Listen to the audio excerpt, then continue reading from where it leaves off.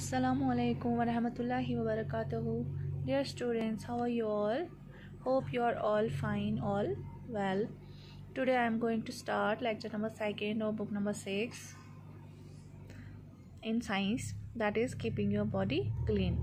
Here are the some tips through which you will learn how to be how to keep your body clean and healthy you must keep your body clean dear student it is very important that you will keep your body clean and healthy Brush your teeth at least twice a day, once in the morning, once at night.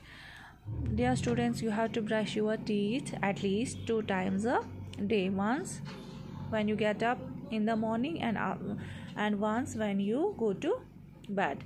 If you will not brush your teeth, your tooth will be decay. So brush your teeth twice or thrice a day.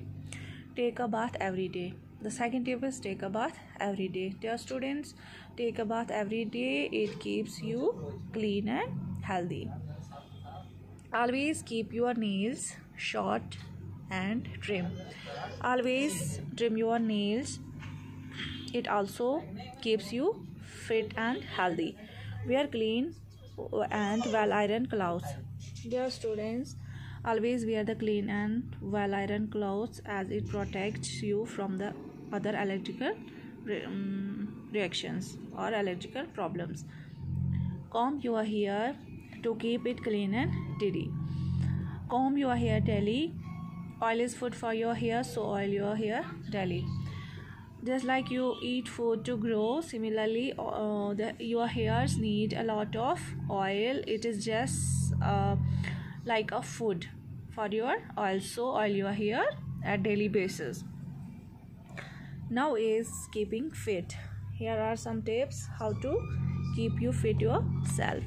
You must exercise rest and sleep well to be fit. It is very essential that you do exercises rest and sleep well to be fit and fine.